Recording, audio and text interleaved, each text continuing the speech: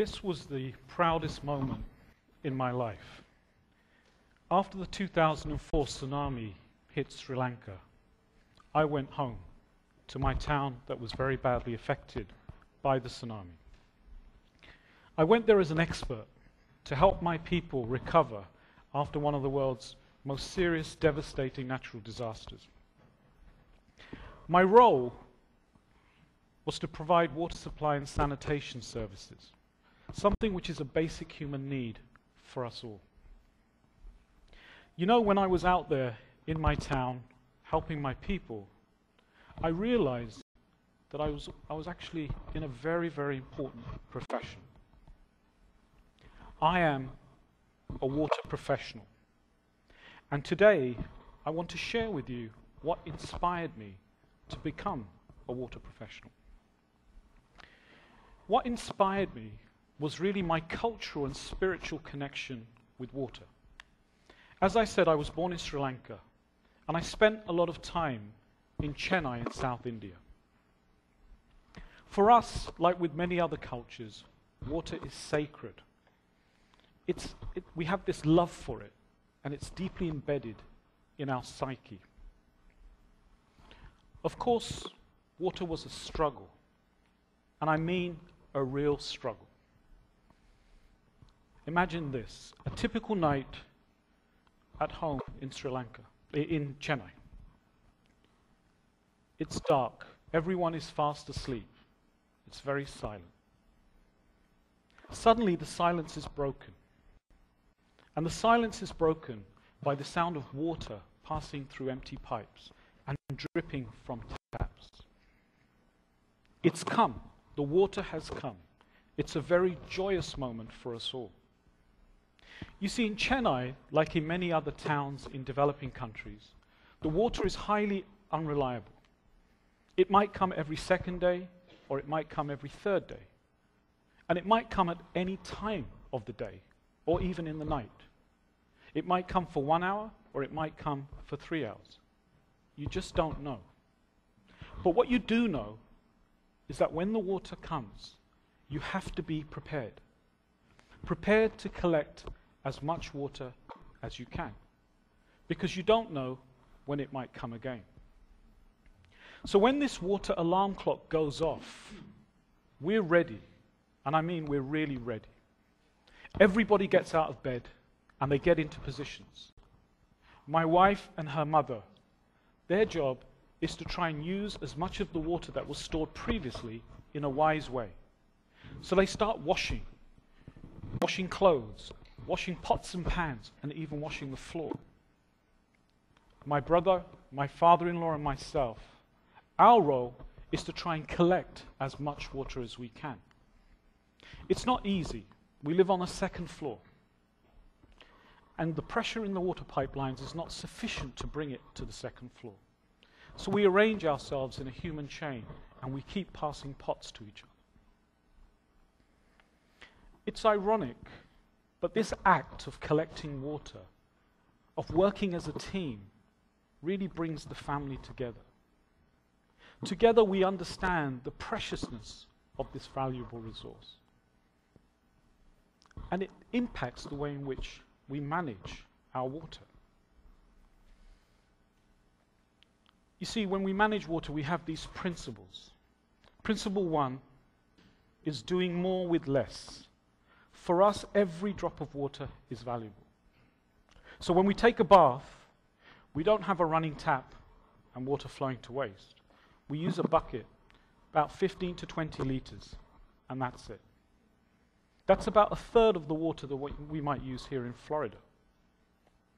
When we wash our clothes, when we wash vegetables, we do it in a container. Again, there's no water going to waste. And the added benefit is that the water left over can be reused. And that's the second principle. We try to use water as many times as possible. So the water from washing the vegetables, from washing clothes, that water is reused for flushing our toilets, for watering our plants, and for washing the floor. And that brings me on to our third principle. All water is good water. The trick is to match the quality of the water for its intended purpose. So, for drinking and cooking, we take the water that we collected in the night, we boil it, we protect it and keep it safely. For bathing, we use some of the collected water mixed with saline groundwater. For flushing the toilet, we use the reused water from vegetables, from, cook, from washing vegetables and washing clothes. So you see, for us, all water is good water, even wastewater. So we're very smart about the way we use water. But our attitude and behavior towards water is not about the struggle for water. We have this deep connection with the water. We treat it as a precious resource, whether we have it in abundance or not. You see, we have this deep love for water. I come from a very old and long tradition where water is sacred. It's the purifier, the life giver, the destroyer of evil, the symbol of fertility and mystery. We often symbolize God with an earth pot, with mango leaves at the neck and a coconut on top. The pot symbolizes Mother Earth, the water, life giver, the leaves, life, and the coconut, divine consciousness. It is this context in which I grew up and what directs me in the way I use water. You know, my father would say to me, he would say, We are the custodians of water. When you use water, think of it like taking a book from the library. You take it on loan and you use it wisely for your benefit. But when you finish using it, you need to return it. And you have to return it in a condition knowing that someone else is going to use it after you. So you need to return it in a condition like you might have wanted to receive it yourself. It's this rich water tradition that inspired me to become a water professional. And so I trained as a civil engineer. And it's quite funny, when I trained as a civil engineer, I realized I'd entered into a profession whose very foundation was based on a philosophy of commanding and controlling nature for the benefit of man. Something completely contrary to my own upbringing and to my traditions. In fact, if you look at the Institution of Civil Engineers in the UK, of which I'm a fellow, and if you look at how they describe the profession of civil engineering in their original charter of 1828, they say that civil engineering is the art of directing the great sources of power in nature for the use and convenience of man.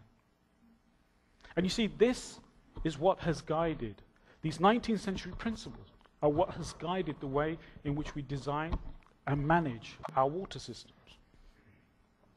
We've created barriers that separate people from water. It distances them and even alienates them from the very water they treasure. These barriers are like the dams and levees that protect us from flooding, the physical and chemical treatment processes that protect us from contaminants and waterborne pathogens.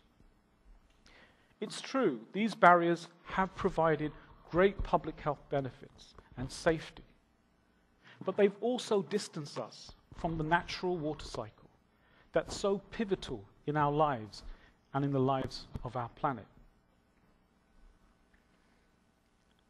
we engineer systems that are sealed units that pipe water to people so that their only contact with water is when they turn on their tap.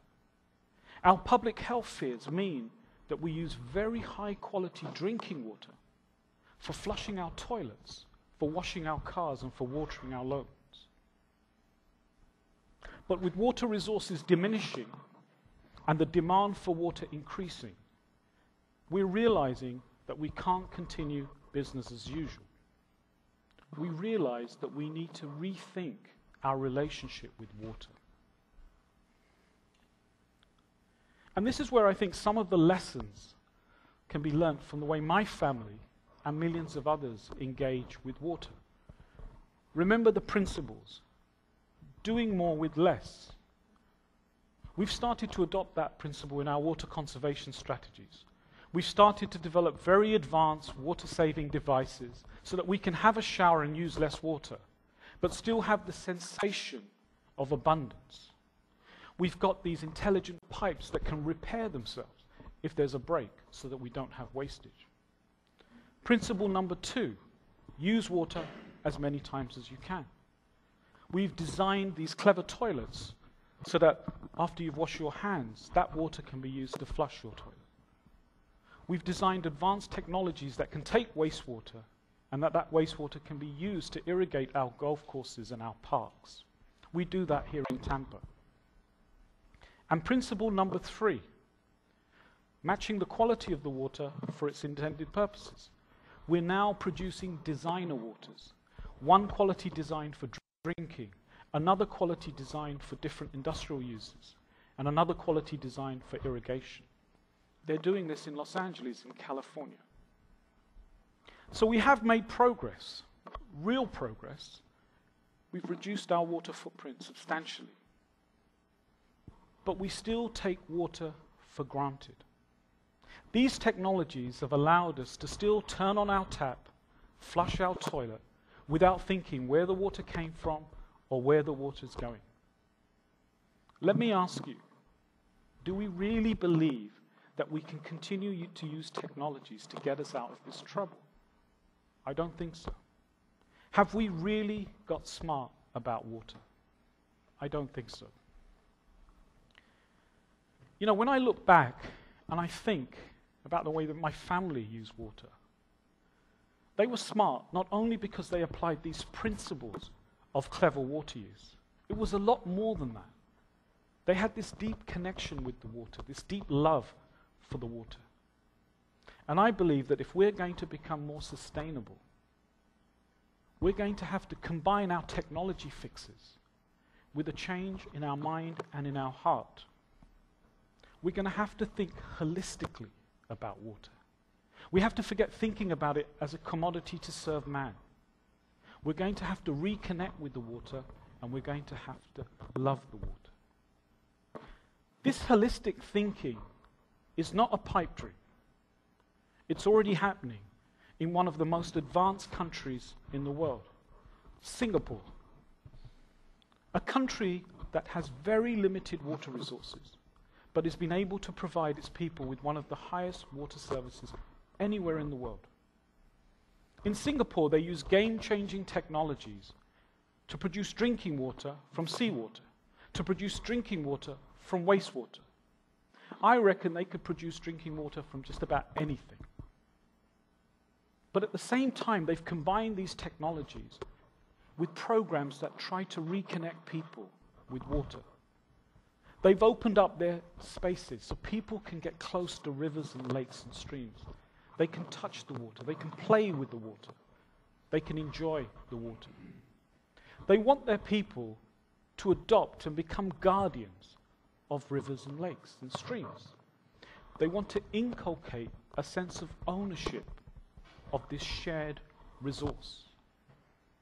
They want their people to re-establish their historical, cultural, and spiritual connection with water. You know, here in Florida, we're not that different. We appreciate the importance of water and natural systems to our lives and to our future. Although we're not perfect, we recognize that our fragile ecosystems are what provides us with our water supplies, that provide us with the habitat that allows us to maintain this beautiful and unique wildlife. And it's what provides us with the reason that we love living here in this state. If we are to be more sustainable in Florida, we have to stay true to both the necessity but also the inspiration of our relationship with water. When I think about what epitomizes the city of the future, for me, it's a place where people live with nature and use technologies to facilitate that living. Let's always be a place where people take better care of their water because we appreciate its value both rationally and spiritually, so we can more easily return the book of water to the library of the river. We need to get smart about water, and this is why. Thank you very much.